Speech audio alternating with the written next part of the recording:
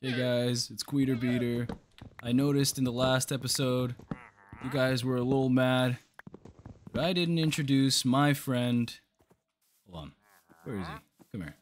My my friend Jeremy. Him and I we go way back. Sometimes I give him money, sometimes he gives me garbage. That's all there is to our relationship, and I wouldn't have it any other way. Now we gotta finish up this door farm. I'm thinking about making birch for the other two walls. Holy frick. There we go. Easy peasy, lemon squeezy. Now this is the moment you guys have all been waiting for. The doors shall be assembled, and it will be glorious. No filthy scoundrels in. this is disgusting.